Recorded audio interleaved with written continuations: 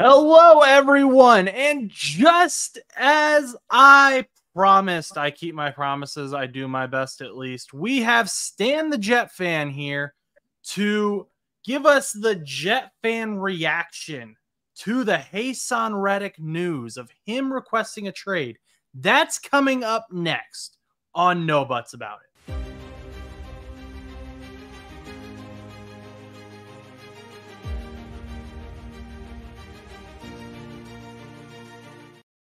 All righty, Stan. So, as always, it's great to have you on the show. Great to talk to you, especially about New York Jets football. Um, we got to have you on sometime, though, when it's a positive news story about the New York Jets. It seems like it's always something negative. And uh, we, we dabble in good stuff. We dabble, but lately it's it's been rough. And now we've got a guy who hasn't played a single snap for the New York Jets. He hasn't even practiced with the Jets, and he is already requesting a trade. So let's just get your initial thoughts. Take me back to yesterday when you saw your first notification, whether it was a text from me or ESPN notification, whatever it was. What were your first thoughts when you heard uh, Haason Reddick wanted a trade? Um, to some extent, I saw it coming, but really just felt like, uh, you know, we're never going to see this guy. He's one of the guys I was most excited to see this season.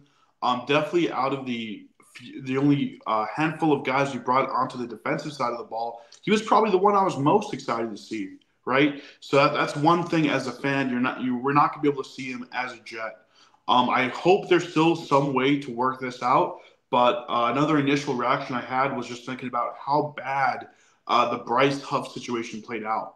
Because you know what, uh, you look at the Eagles now with Bryce Huff, and you know they're saying they don't think he's going to be, uh, you know, a every down uh, type of defensive edge, uh, edge uh, the type of guy they were looking for, and the type of guy that Reddick is. but at the end of the day, at least you had Huff. You know, Huff was going to play. He wasn't giving you too many problems. At least you had him. Now you have Reddick, who is giving you problems and has been giving you problems. You've been finding, I think, upwards of a million of million uh, dollars now, um, and you don't have a guy who's going to have that position uh, taken care of on day one. So that's one big issue. It's probably the biggest uh, open position on our roster, or at least on the defensive side of our roster. So it's, it's a big issue there. Um, it really makes me think that Douglas uh, just needs to look back at the height, uh, sorry, the Bryce Huff situation and ask what can we do to prevent this from happening again. So you brought up Joe Douglas, so let's just skip right to that. And let's look at his response to the like and this was like it was literally Haason Reddick request trade and then within a half hour this statement comes out and it says we have informed Haason that we will not trade him that he is expected to be here with his teammates and that we will continue that he will continue to be fined per the CBA if he does not report. Since the trade discussions back in March, we have been clear, direct, and consistent with our position. Our focus will remain on the guys we have here as we re- prepare for the regular season. So that's a pretty uh, hard, hammered way, um, quickly put out. They they didn't let the media control that narrative at all. They said the Jets said this is what we're going to do. What do you think about that immediate um, very strong response to the news. Oh, I think I think doing it like that was the best thing they could have done, and the only thing they could have done. Um, I think they know they messed up the situation. I think they know they should have stuck with uh, Huff or someone else, right? Not not gone to Reddick uh, when Reddick wanted a, a new deal that the Jets were never going to be able to offer, and more importantly, that a lot of teams in the NFL were not willing to offer. Right? The Jets were so desperate for an edge who can play at a Huff or above Huff level um, that they threw in way too much, way too fast in this trade. Right. So we're the easiest easiest way out of this situation would be to pay Haason Reddick. I at least the way I'm looking at it. And it's rumored he wants $25 million a year, which is we talked I talked about this in the video I put out yesterday when the news came out. That's like Brian Burns, Joshua Hines Allen money. Um as a fan, is that type the type of money that you would want to see dedicated to the pass rushing position for someone of Haason Reddick's caliber? I mean, do I want to see that? Yes, but do I think it's the best decision? Um, from from the financial side, no, because you have so many big players coming up, and I would be fine giving Reddick a really big uh, one year for the Jets. Like you give you know give him all the bonuses, give him all the incentives, um, give him uh, guarantee as much of his money as you can. Um, the more of my issue is that we have so many young players who are going to need to be resigned these next couple of years. Um, like Sauce and Garrett are 100% going to get resigned. Uh, Hall, I think he should be 100% getting resigned. I think realistically, there's a chance to try to, you know, franchise tag him twice. Um, and there's so many other players, Michael Carter II, uh, Jermaine Johnson, who their contracts are going to come back, and you need to keep them to keep the young core of this team together. So, uh, and, and, Huff could have been a uh, part of that young core, but the Jets waited way too long to try to extend him, and uh, obviously he went somewhere else. Right. And it sounds like Joe Douglas did initially try to give Reddick this um at least the rest of the money on his contract to be fully guaranteed or at least most of it guaranteed that 14.25 million I think it is and we saw obviously that he wasn't interested in that as a player um i guess my question then is where do you go from here where would you like to see douglas go from here um because as you've said the caps situation for the jets and the, all their young players they have doesn't necessarily allow you to pay him what you you'd be okay with him getting paid, but long term that probably wouldn't be the best idea. And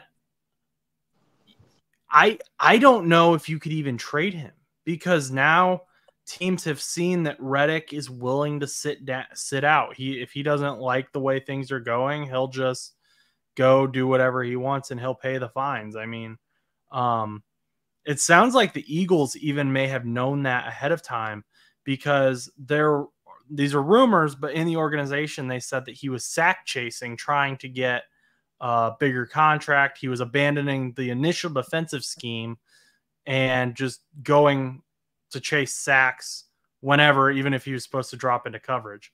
So it this may be a longer uh, personality issue. Do you think that the Jets are even going to be able to get a trade done now? Um, I think it's I think it's a possibility because um, there are enough teams out there that have the cap space that need people. Um, just off the top of my head, even though I don't think this is likely, the Patriots come to mind as a team like that, where they have a lot of money left to uh, to spend, um, and they they could definitely use someone for their edge room. Um, I think the bigger issue is that, uh, as you said, now teams have seen him kind of whine around. So where where does his value lie? Right? Does he still have? Can can he get a third pick, a third round pick? Um, which I think it's still possible. I think there there are teams that would give a third round pick for him. So if the Jets get that or something better than that, maybe a third and a sixth or whatever, um, I could see that working out well. Uh, I don't think we're going to really make anything above just breaking even on this. Um, and, and, another thing is we also got rid of JFM, right? We got rid of JFM um, in order to make room for Reddick's contracts and other contracts on the team. Uh, we got we let Bryce Huff walk away in order to do the same thing. So we lost two edges who are in our rotation, who are working well for us, for this guy who may not play a snap ever for the Jets, uh, and who we already lost a third round pick for. Yeah, and not possibly even a second round pick. Like it was a conditional third round pick. You guys were willing to give up a second round pick for him as well. Obviously, if he doesn't play those snaps, Eagles don't get that second round pick. But um, there is and I still haven't figured out how this works out. If he doesn't fulfill his end of the trade, do the Eagles get screwed over? I don't think the Eagles get screwed over. I think the only team that would get screwed over here is the Jets because, as you mentioned, you let all those guys go to fill or to uh, open up space for Reddick. You've given away a third round pick. You may not get a player. You have to hope someone comes in to trade for him. Do you, do you feel like the Jets have any leverage at all in the trade? Uh, in a trade, definitely not. I mean, there's w- way too late for that to even be in the question, right? Um, I think Reddick has all the uh, cards here, and, and, what I what I hope for is that Reddick is just kind of bluffing with this. He doesn't really want to go somewhere else. He just wants to get that uh, deal signed ASAP. And I think once the Jets look around for a trade student, realize the value may not be there, I think they will have to give uh, Reddick the contract he wants. Okay, so final, final. Really, this is just going to be your opportunity to, as a Jets fan, say what you want to say. Whether it's a message to Haason Reddick you want to put out on the internet, a message to J- Joe Douglas that you want to put out on the internet, whatever it is, just let us know. Do you what do you as a Jets fan want to see done with this situation? I mean, there's not really anything that can be done, to be honest. It's just a sucky situation. I think the big thing for me right now, thinking about this, is that there should be more of a target on Joe Douglas's back. I think he has to really uh, pull things together. And I was someone who was very lax on him throughout last season, throughout seeing um, all the mistakes he has made. He has made a lot, made a lot of mistakes, specifically on offense. Uh, but something of this level, right? You lost JFM, you lost Bryce Huff, you lost a draft pick, and you're getting this guy who may not even play for you. Something of this level, it just can't happen. And I think, you know, even if anyone out there is willing to give this one to Joe Douglas, and you know what, you could take this one, we'll move on, uh, just don't do it again. There, you have to have a super short stick left, right? Like there, there's for, for me, I'm kind of I'm kind of at the point where you know, I do I do appreciate all the young players he's brought in, and I really like the guys he's brought in from other teams on defense. But I'm not too sure if the value of that is really better than the mistake of uh, Reddick, plus the mistake of bringing in all the retired Packers players last year. Um, like so many, so many of those mistakes, I think we're reaching a point where Joe Douglas's tenure with the Jets is looking like a negative outside of just the win-loss column. Okay, so there you have it, folks. Uh, this this this could be Joe Douglas's career right here. Uh, we appreciate Stan stopping by as always, giving us his thoughts. Um, if you have thoughts, make sure to let us know down in the comments. Before you leave, we'd appreciate it if you hit that subscribe button as well. It really helps us out on the channel. Um, until next time, I'm Josh Butts for Stan the Jet fan. Go do something nice for someone.